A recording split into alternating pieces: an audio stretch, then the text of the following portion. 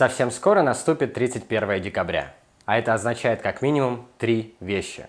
Во-первых, в ближайшие две недели каждый из нас будет судорожно бегать по магазинам в поисках подарков для родных и близких. 31 декабря все мы усядемся перед телевизором и будем смотреть «Иронию судьбы» или «С легким паром». Ну а в-третьих, на новогоднем столе у каждого из нас будет наш любимый салат с детства под названием оливье. К сожалению, я не могу посоветовать вам, какие подарки стоит купить близким. Ну, по крайней мере, пока у меня нет рекламных контрактов. Я вряд ли расскажу вам что-нибудь новое про иронию судьбы или с легким паром. Вы и так ее видели уже тысячу раз. А вот про оливье, про оливье мне есть что вам рассказать. Поэтому, без лишних слов, давайте начинать.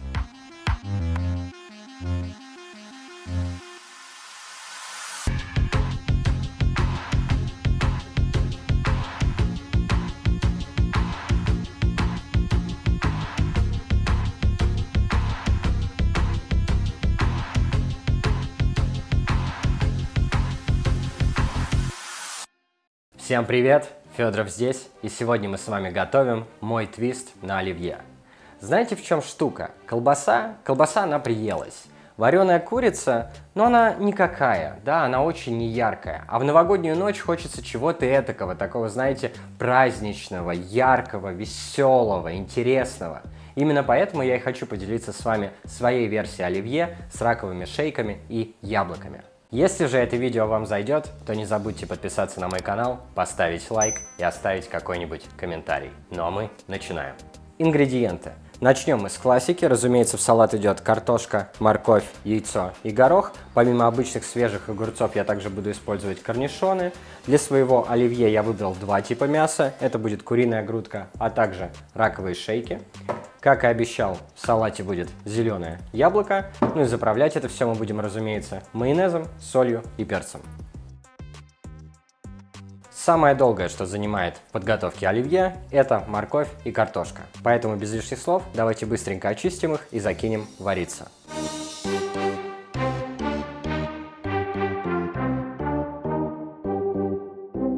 Морковь готова, приступим к картошке.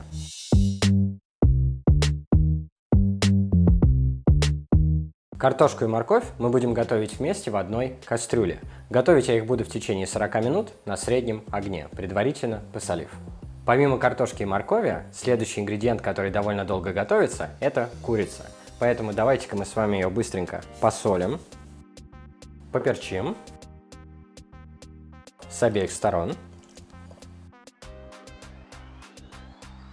Затем нашу курицу поставим жариться. По 5 минут обжарим ее на сильном огне с каждой стороны, после чего переведем огонь на средний, накроем крышечкой и оставим еще минут на 5-10 потомиться до полной готовности. Последнее, что нам нужно приготовить для нашего салата, это куриные яйца. Тут я вам рассказывать ничего не буду, уверен, вы и без меня справитесь. Поэтому отвариваем яйца вкрутую.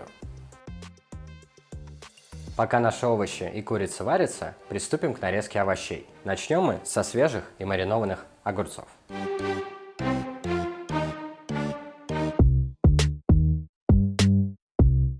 Мне, если честно, очень нравится сочетание свежих и маринованных огурцов, потому что свежие огурцы, сюрприз-сюрприз, сделают ваш салат более свежим, а маринованные же огурцы добавляют в ваш салат некой кислинки, что делает его вкус более интересным и ярким.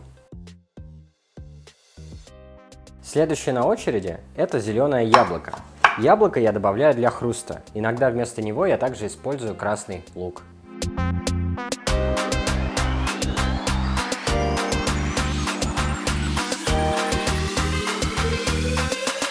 Вот такая вот у нас красота с вами получается. Ну а я спешу напомнить, что мы все-таки не витаминный салат готовим, поэтому следующим на очереди у нас идет яйцо.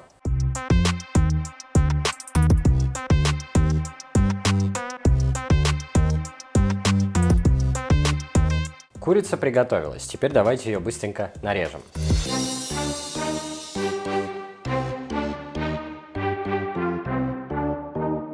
Теперь шинкуем морковь.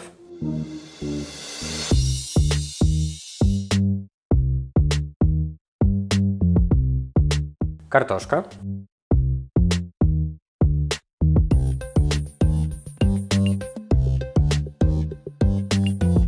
Мы с вами уже на финишной прямой. Но сперва позвольте мне вам рассказать небольшую историю происхождения салата оливье. Жили-были, значит, три брата. Ниф-Ниф, Наф-Наф и Люсьен Оливье. Я, если честно, просто даже не знаю, как их звали, но это и не имеет значения. Приехало, значит, во второй половине 19 века семейство Оливье покорять Москву. Люсьен Оливье оказался стартапером и решил открыть свой ресторан, который он назвал «Эрмитаж». В этом ресторане Люсьен почивал московскую публику высокой французской кухней. Но, как и все остальное, высокая французская кухня через какое-то время надоела московской публике.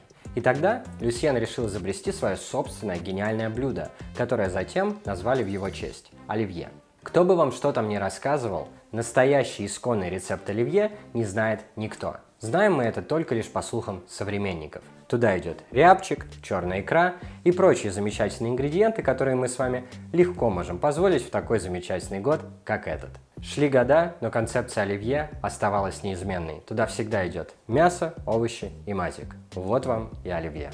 Теперь горошек. Я, если честно, небольшой любитель большого количества гороха, поэтому я добавляю всего лишь пол маленькой баночки на такое количество других ингредиентов, потому что мне кажется, иначе горох начинает перетягивать весь вкус на себя. Следующее это раковые шейки. Кто не знает, это по сути жопки раков. Вы можете в принципе сами купить себе раков и творить их, оторвать хвосты и использовать их. Я же использую покупные. Ну и напоследок соль свежемолотый перец, ну и, разумеется, мазик. С майонезом будьте осторожнее, не превратите ваше оливье в кашу.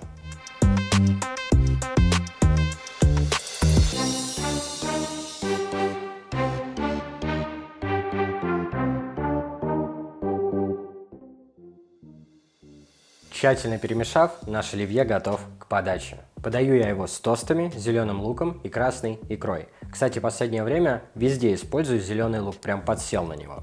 Вы можете подавать свой оливье как хотите, но вот одна к вам просьба. Не используйте петрушку и укроп. Ну правда, ну стрёмно это смотрится в оливье. Ну а я вам желаю побольше классных рецептов для вашего праздничного стола. До новых встреч, ребят, и пока.